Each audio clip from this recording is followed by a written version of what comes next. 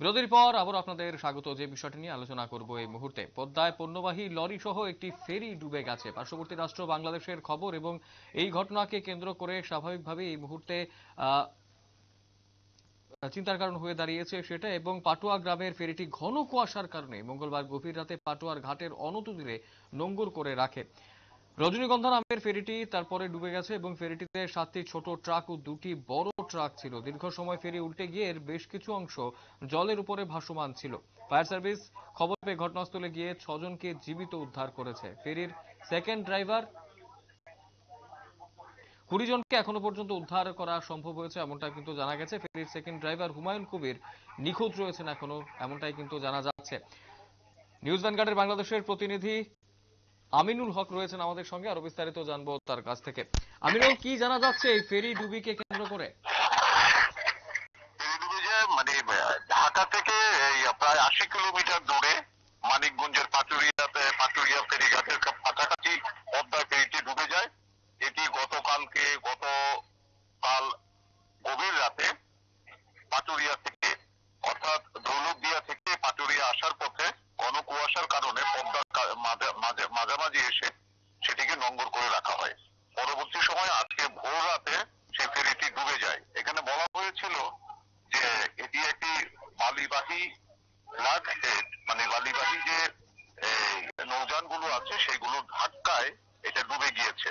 তো এই বিষয়টি এই বিষয়টিকে কেন্দ্র করে একটি পাঁচ সদস্যের তদন্ত কমিটি গঠন করা হয়েছে। পরবর্তীতে হয়তো সেই বিষয়টি জানা যাবে। এগুলো ফেরি ডুবির ঘটনার সঙ্গে সঙ্গে এখানে খবর পেয়ে দমকল বাহিনী এবং আজকে সকাল সেনাবাহিনী ডুবুরি দল সেখানে যুক্ত হয়েছে এবং তারা উদ্ধার কার্যক্রম চালাচ্ছেন।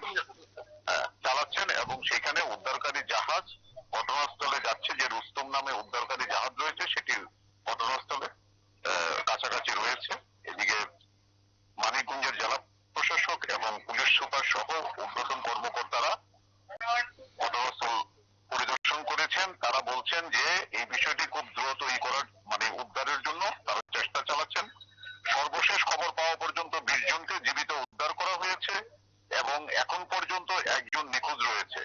তারা বলছেন, সংশ্লিষ্টরা বলছেন যে এই পাটুরিয়া ঘাটের খুব কাছাকাছি জায়গায় পদ্মাতে ফেরিটি ডুবে যায়।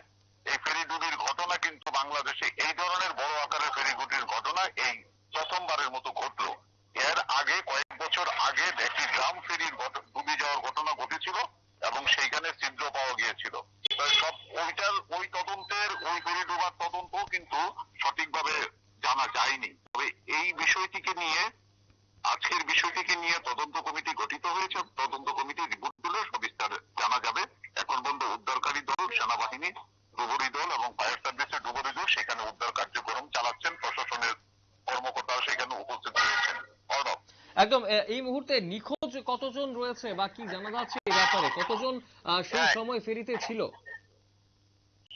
এ পর্যন্ত এটা তো যেহেতু পণ্যবাহী নিয়ে আসছিল, সেই পণ্যবাহী লরি নিয়ে আসছিল আর কিছু মানুষও থাকে, তবে অতটা রাতে তেমন সাধারণ মানুষ সেখানে হয়তো ছিল না, যানবাহনের সঙ্গে যারা ছিলেন এবং ফেরির লোকজন ছিলেন তারাই ছিলেন। এখন পর্যন্ত একজন নিখোঁজের কথা বলা হচ্ছে প্রশাসনের তরফে। আর এখানে প্রশাসন এখানে রয়েছেন এবং বিআইডব্লিউ টিসি যে আহ, ফেরিটি যারা পরিচালনার দায়িত্বে রয়েছেন তারা সেখানে পৌঁছেছেন সকল ধরনের ব্যবস্থা তারা সেখানে নিয়েছেন বলে আমাদেরকে জানিয়েছেন এবং বলছেন যে অতি দ্রুত হামজা আসলেই ফেরিটি উদ্ধারের কাজে হাত লাগাবে আর কি। এখন পর্যন্ত ডুবুরি দল দেখছেন যে সেই জায়গাতে, সেই জায়গায় মানে কোন রকমের কোনো মরদেহ পাওয়া যায় কিনা।